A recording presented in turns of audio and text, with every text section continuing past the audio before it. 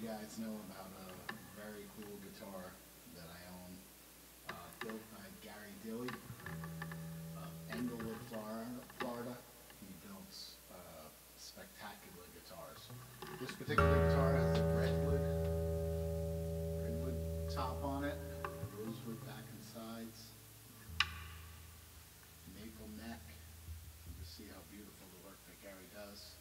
Um, this standard Dilley trademark on the top. So uh, Gary just did some work and sold his pickup for me, so I wanted to give him a big shout out. Uh, If you're in Florida and you're looking for a quality guitar, uh, he's the guy you want to see.